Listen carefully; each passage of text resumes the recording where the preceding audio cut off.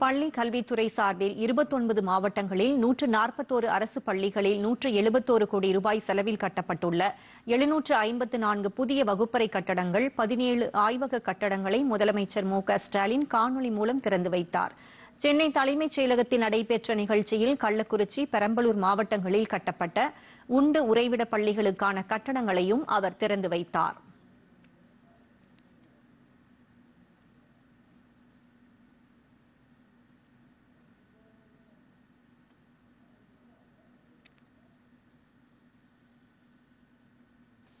தமிழ்நாடு அரசு பணியாளர் தேர்வாண தேர்வாணையத்தின் ஒருங்கிணைந்த பொறியியல் சேவைகள் தேர்வு வாயிலாக உதவி பொறியாளர் பணியிடத்திற்கு தேர்வு செய்யப்பட்ட இருநூற்று நாற்பத்தாறு நபர்களில் அடையாளமாக இருபது பேருக்கு பணி நியமன ஆணைகளையும் முதலமைச்சர் வழங்கினார்.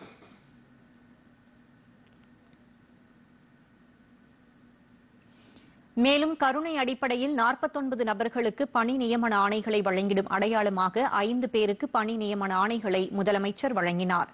இந்த நிகழ்ச்சியில் தலைமைச் செயலாளர் முருகானந்தம் மற்றும் அமைச்சர்கள் கலந்து கொண்டனர்.